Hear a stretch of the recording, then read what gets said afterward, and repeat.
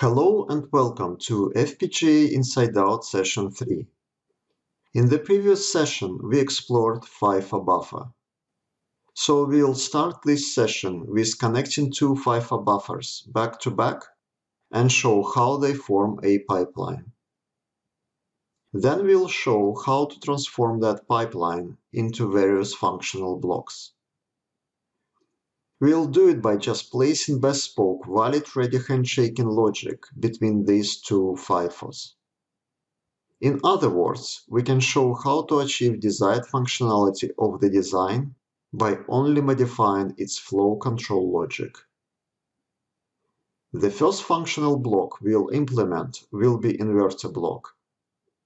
Inverter block takes data transaction on its input and presents this transaction with inverted value on the output. Then we will implement filter block. Our filter block will pass data transactions with the most significant bit being set to 1, but discard transactions where the most significant bit is set to 0.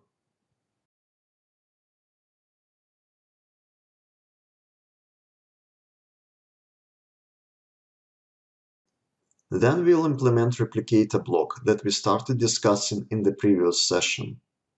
The block that takes data transaction coming to its input and replicates that transaction two times on the output.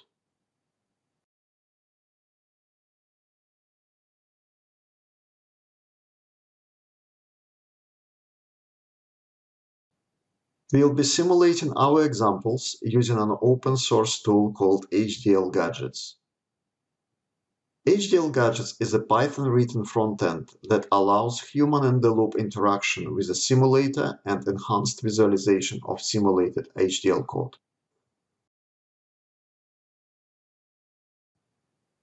In this session, we'll be working with scenario 5, called two FIFOs with custom logic with model. Let's start it. We see two FIFOs with the custom logic block between them. We also see here a queue representing transactional level model. It was explained in the previous session how transaction level model is used to prove the functionality of the RTL design. For that reason, during this session, for every functional block we implement, we'll follow this tradition of adjusting the model to make it correlate with the RTL code of the design. At the moment, within the custom logic block, we just have data, valid and ready wires simply connecting corresponding signals of two FIFOs. Let's reset the logic and fill two FIFOs with data.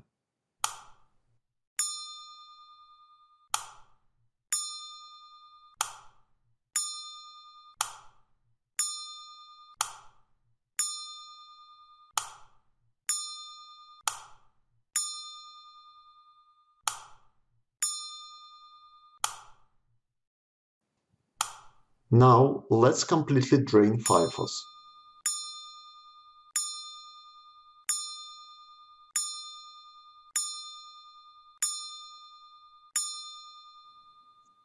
We saw that two FIFOs connected back to back behave very much like a one big FIFO. The transaction level model we have here is exactly the same model that we used in the previous session for verifying single FIFO. Because the model is latency agnostic, it will correlate with any correctly functioning RTL design where data follows first in, first out pattern. So this model will be relevant for verifying both FIFO and a pipeline. And by the way, we can think of these two FIFOs here as a serial pipeline with valid ready handshaking. Okay, let's try to modify handshaking logic between two FIFOs in order to implement our first example, which is data inverter.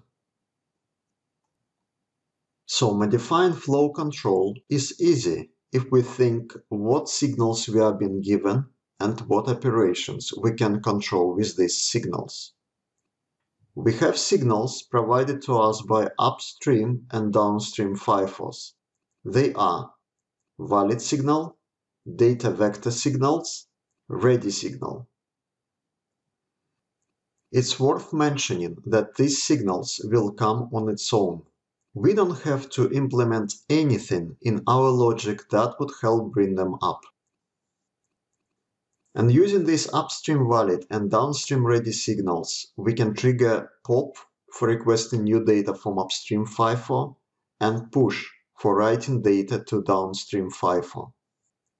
So in order to make the inverter, we can leave valid and ready signals connected so that pop from upstream FIFO and push into downstream FIFO will be happening together.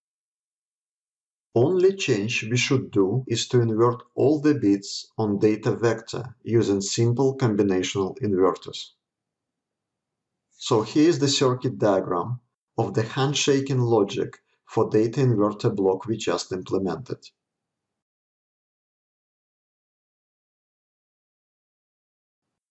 Let's run this scenario.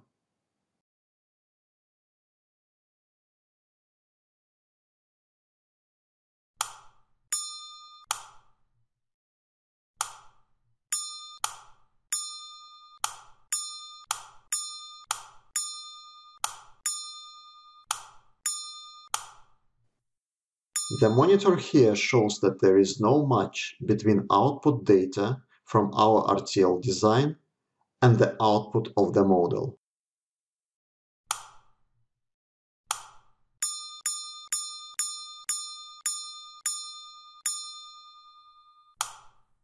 Let's change the model.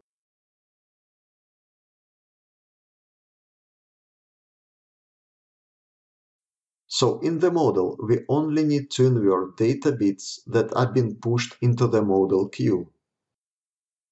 Let's run this scenario again.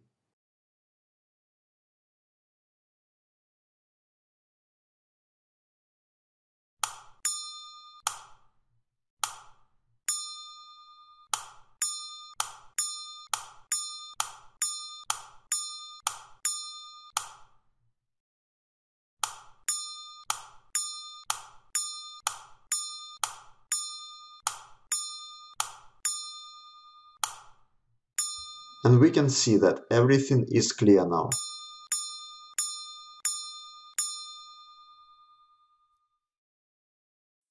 So the next example is the data filter. As we said, our filter block shall only pass those data transactions where the most significant bit is 1. Transactions with the most significant bit equal to 0 must be discarded. To solve this problem, we don't change pattern of pop operation, but we need to modulate push so that only transactions with the most significant bit equal to 1 will be written into the downstream FIFO. In order to modulate push, we have to put circuit breaking logic on the valid line. So we leave ready signals of two FIFOs connected directly and we put a combinational AND gate logic on the valid line. So this is circuit diagram of the handshaking logic for data filter block that we just implemented.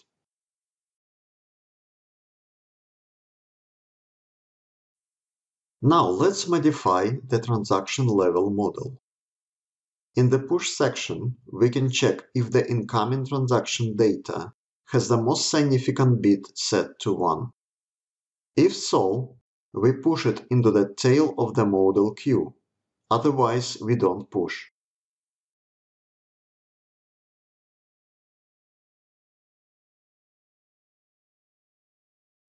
Let's run this scenario.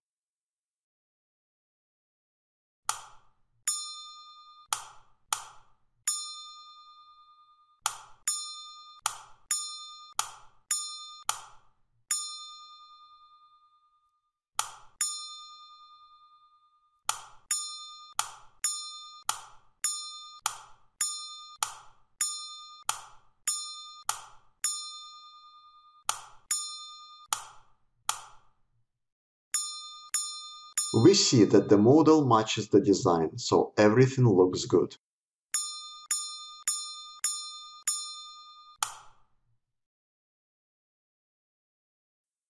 So let's do the replicator block example that we started in our previous session.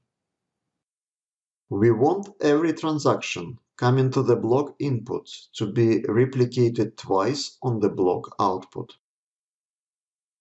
During the last session, we only changed the model but didn't complete the RTL. So let's first bring the model to that exact state where we left it in the last session. So in the model, we just push incoming data transaction into the queue twice. We program transaction level model just like we program in any other sequential programming language. Now let's try to implement that replicator block in RTL.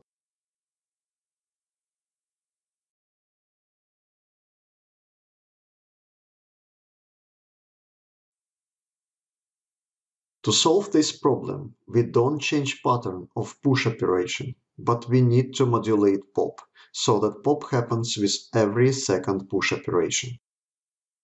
So we can start with implementing a simple 1-bit counter that will mark every second push operation.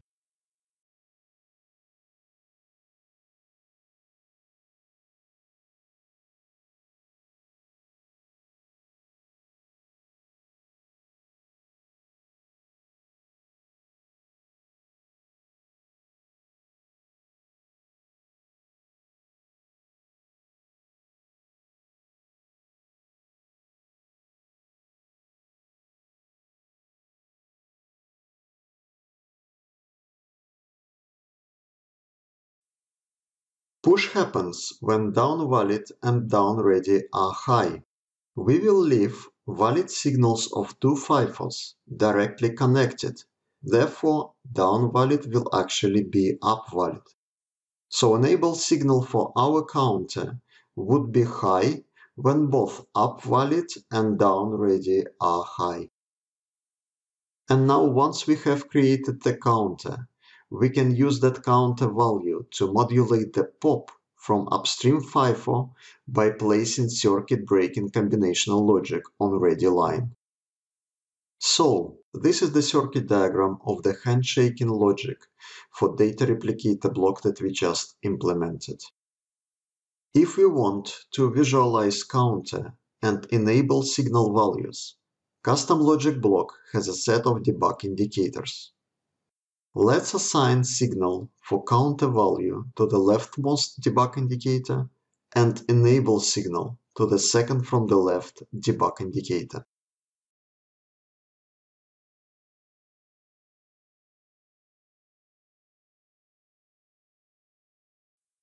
Let's run this scenario.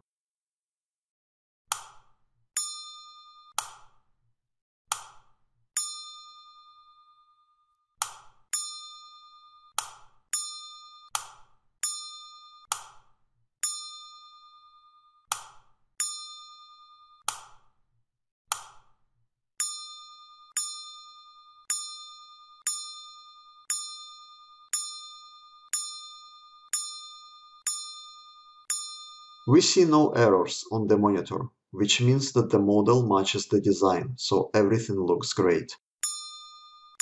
In the next session, we'll continue with more advanced flow control scenarios.